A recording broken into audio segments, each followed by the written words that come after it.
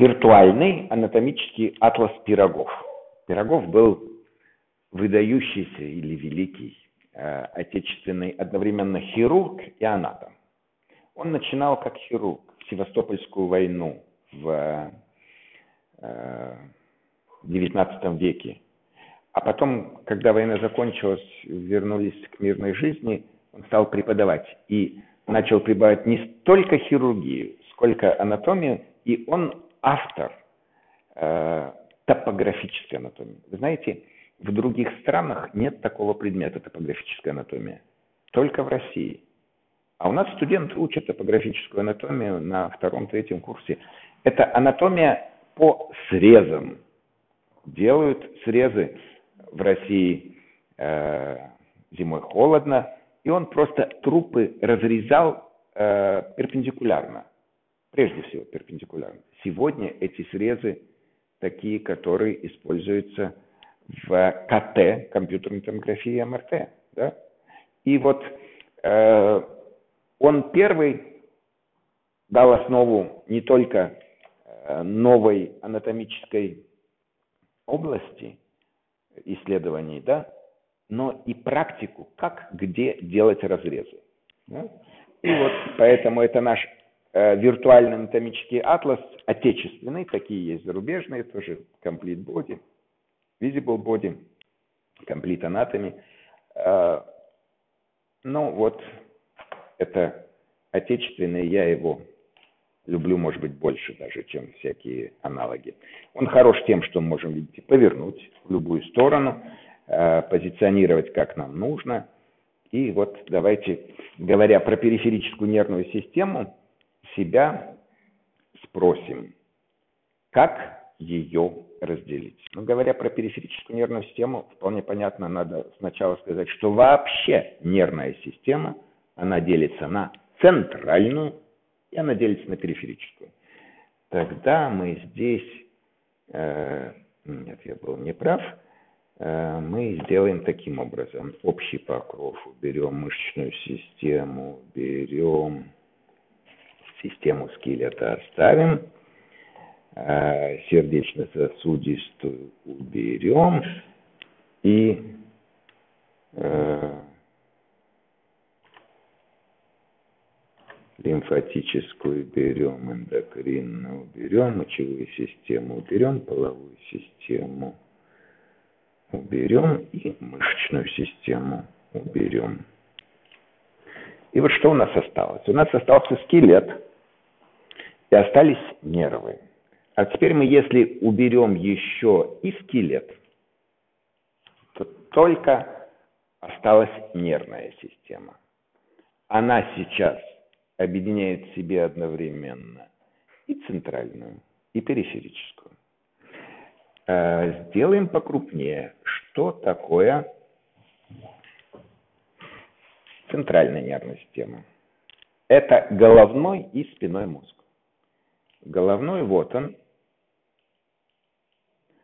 спиной вот он. А, периферическая нервная система это все волокна, то есть нервы, отходящие либо от головного, либо от спинного мозга. Да? И с этой точки зрения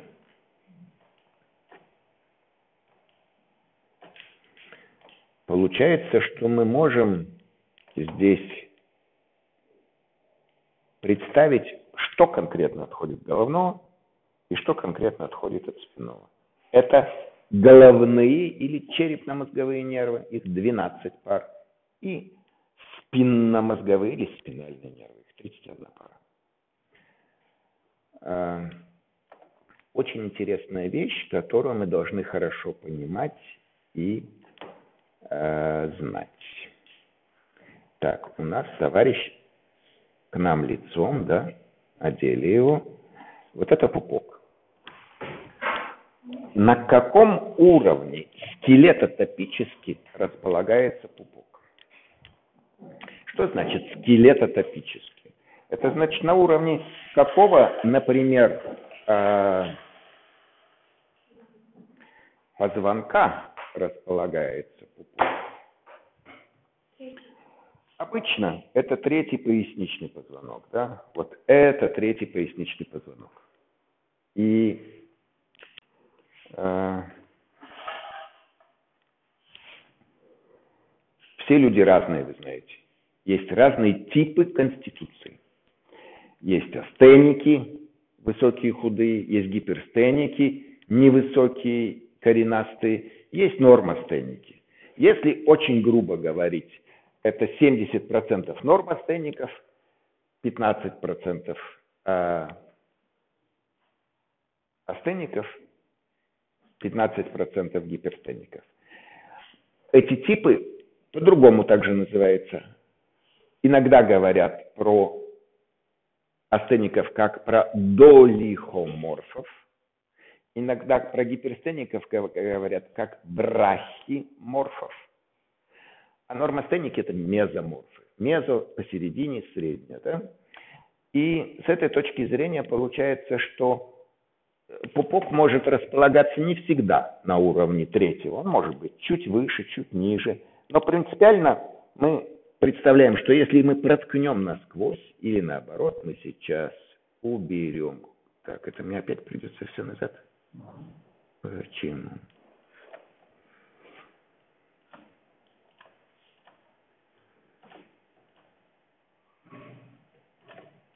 Я все убираю опять последовательно, чтобы нам только опять на скелет посмотреть и на нервы. Э, значит, вот это пятый поясничный позвонок, это четвертый, это третий, второй. И как э, если мы теперь кожный покров сделаем прозрачным,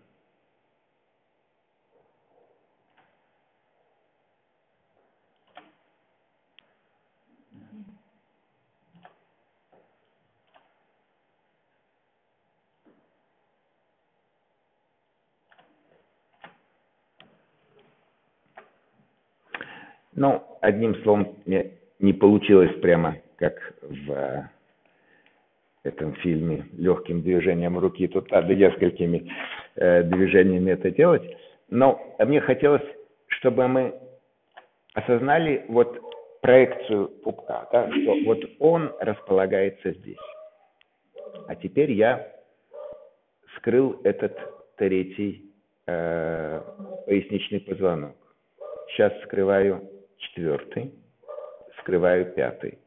Что вы там видите, когда мы удалили? Ведь внутри спинномозгового канала располагается спинной мозг. Спинномозговой канал – это пространство, которое внутри позвоночного столба. Вот если мы смотрим сюда, то вы заметите, что там проволока такая мощная, она просто все скрепляет. Вот еще ниже я спустился, эту проволоку видно. На самом деле, как там проволока располагается, так реально должен располагаться спиной мозг. Куда я сейчас зашел? В промежуток между вторым и третьим позвонками. А теперь между третьим и четвертым. В этих промежутках выходят корешки спинного мозга. Корешок по латыни радикс, Отсюда радикулит. Вот они будут ущемляться, когда радикулит формируется. Да? И э, одна очень важная вещь, которую мы должны сейчас осознать, вот э, смотрите, еще уберу, еще уберу, еще уберу. Вам кажется, что там спиной мозг. На самом деле это не спинной мозг. А что это? И головной, и спинной мозг окружены оболочками. И вот теперь я убираю систему скелета, мы оставили только опять э, центральную периферическую нервную систему. Мы с головного мозга оболочку убрали. А вот смотрите, я сейчас кликну вот сюда.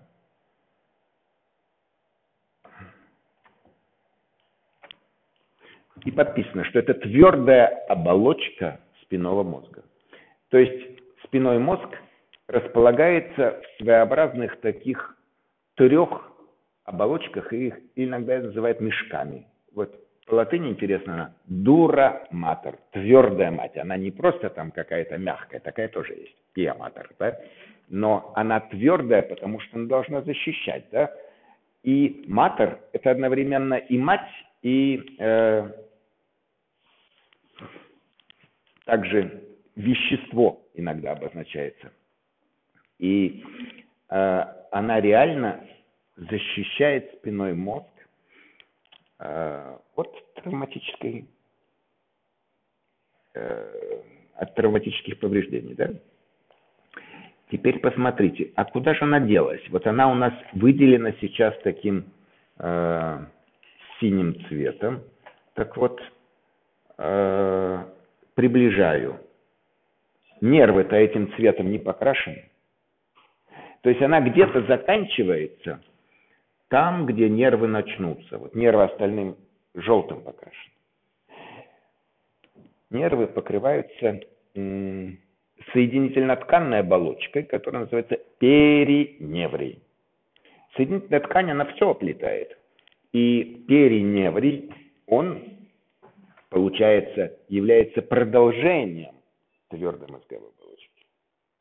То есть, как только выходят нервы за пределы спинномозгового канала, то здесь исчезнет э, дураматор, э, твердая мозговая оболочка, и просто перейдет в тоненькую оболочечку, переневрий. Вот теперь, смотрите, я ее уберу. Дураматор, я ее удалю. Теперь ее нет.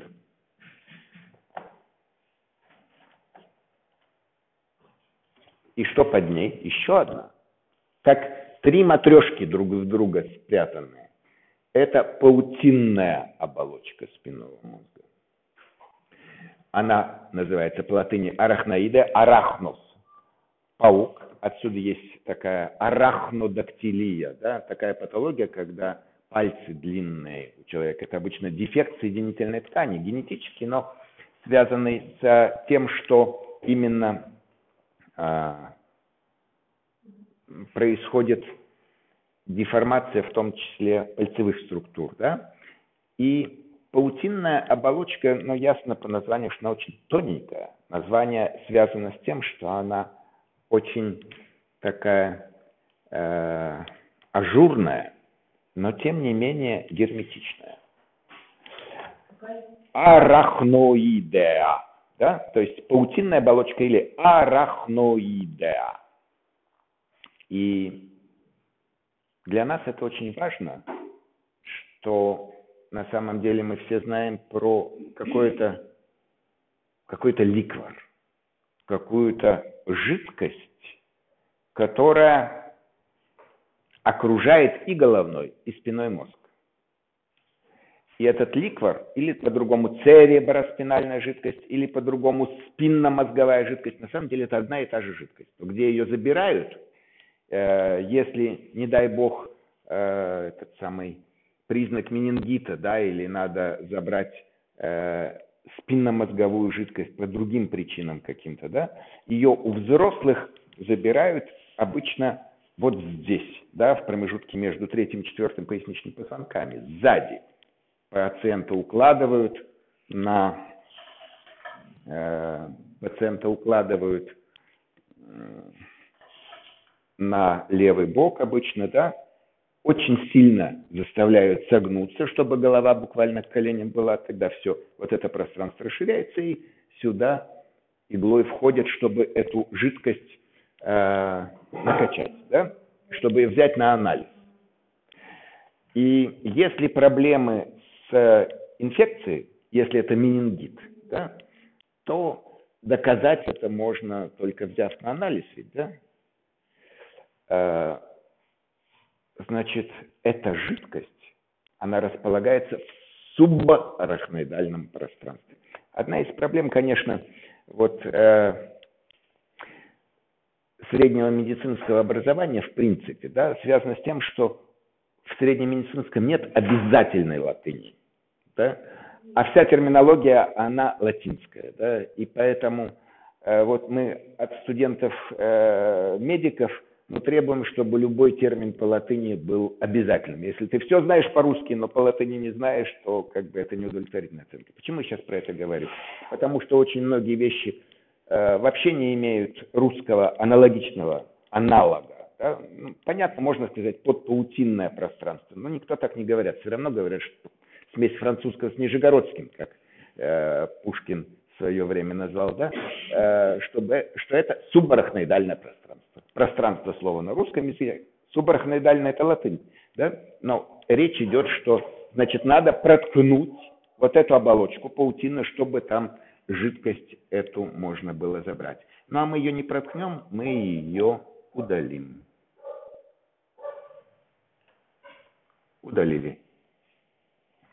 Тогда я опять, опять там что-то вижу. Мы договорились, что три вставленных друг в друга что-то не удалили. Ну, еще раз повторим.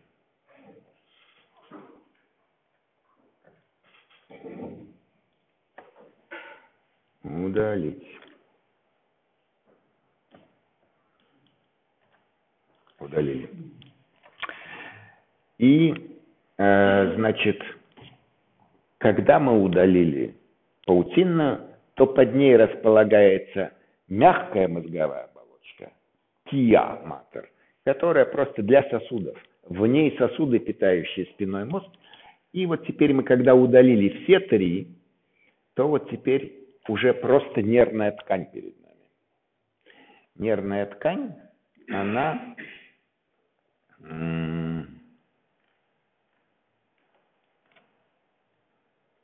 Видите, теперь более-менее одного цвета. В центральной нервной системе и в периферической. Да? Так, они здесь уже не отличаются существенно. И, э, собственно, я вам хотел показать фокус, связанный с пупком.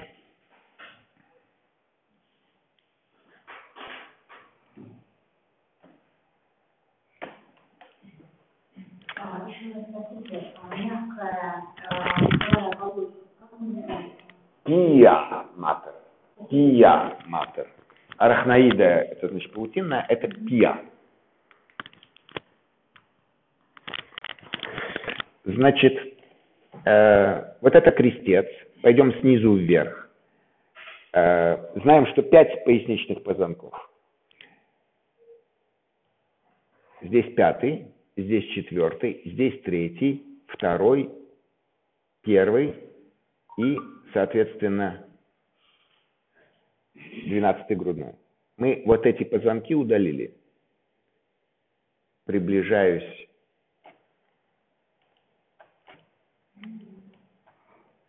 Значит, договорились. Тут двенадцатый грудной, первый поясничный.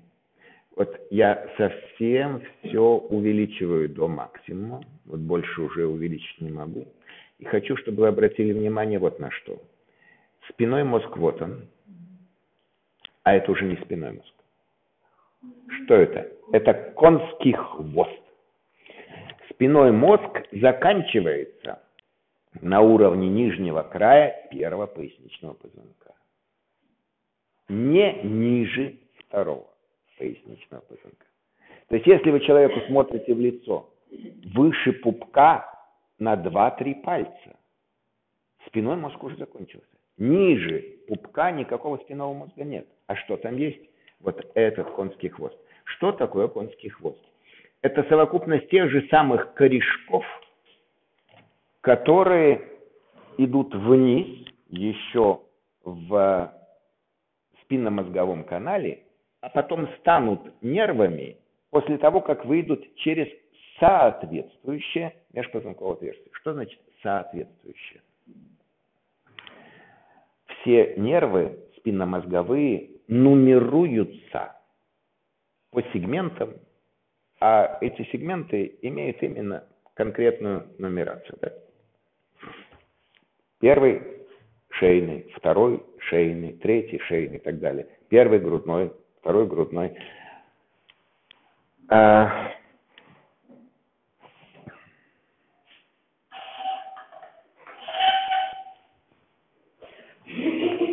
Это крестец.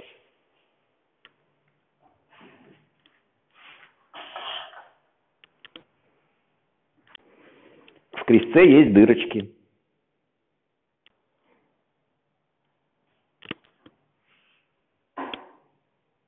Передней поверхности и на задней. И крестец – это сросшиеся пять крестцовых позвонков. Они единые. И сейчас я принесу отдельный крестец –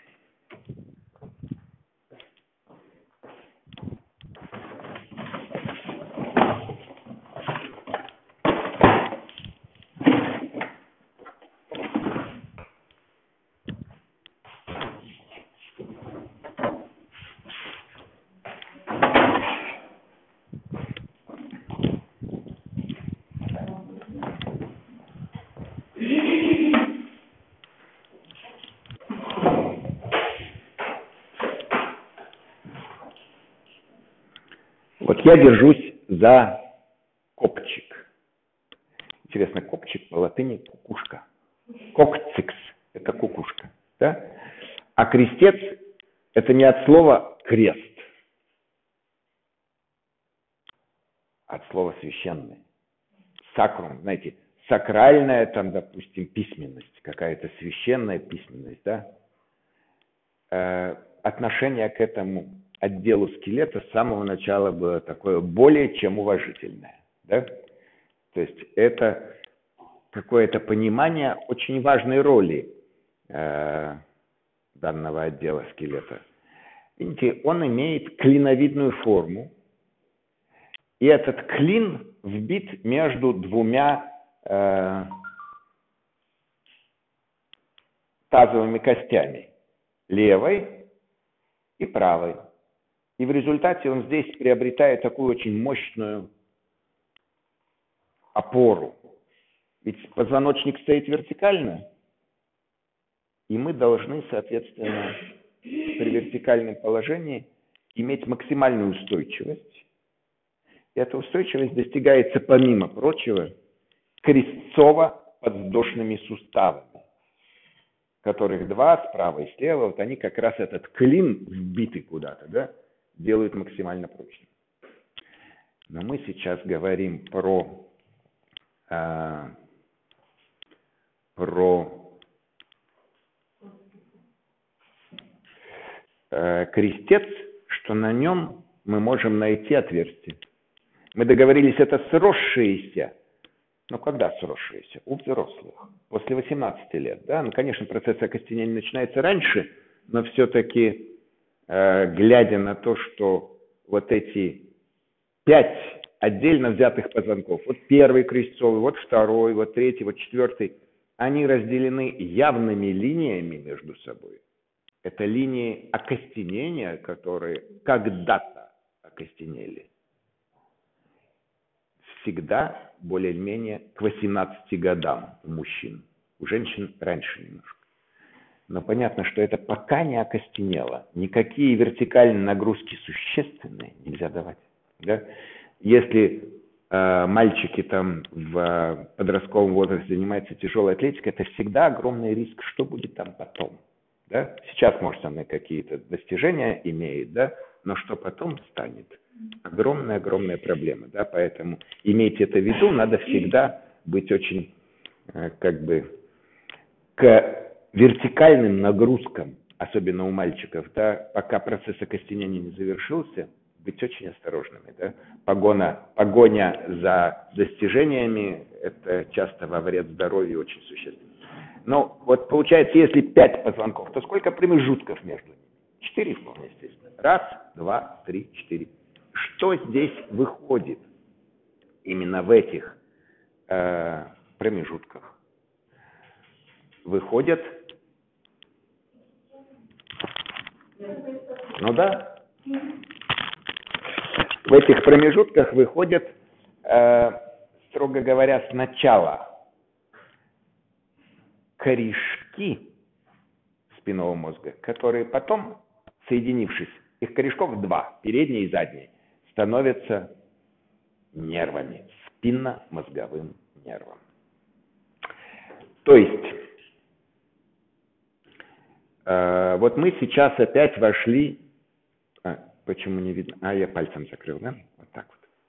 Мы зашли в промежуток между четвертым и пятым крестцовым позвонками. И мы можем утверждать, что здесь выходит четвертый крестцовый спинномозговой нерв. Нервы нумеруются.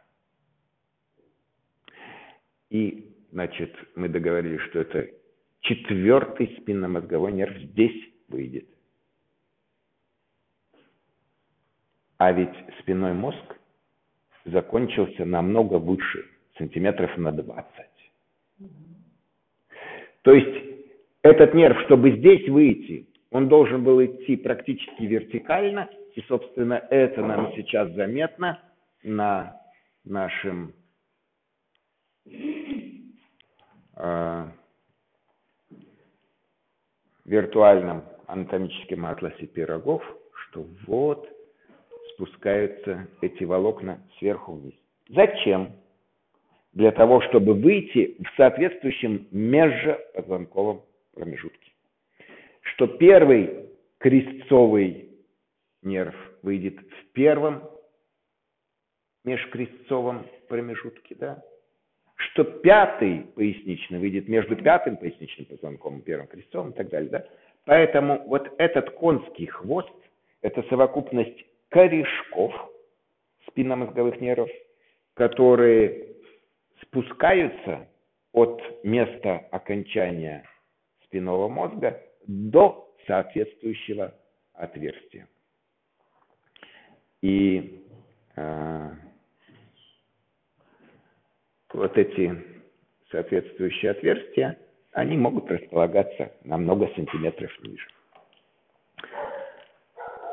Теперь я опять уберу систему скелета, вернемся непосредственно к нервам как таковым. Еще одна очень важная для понимания вещь, что э, понятие корешок и нерв, они э, существенно отличаются.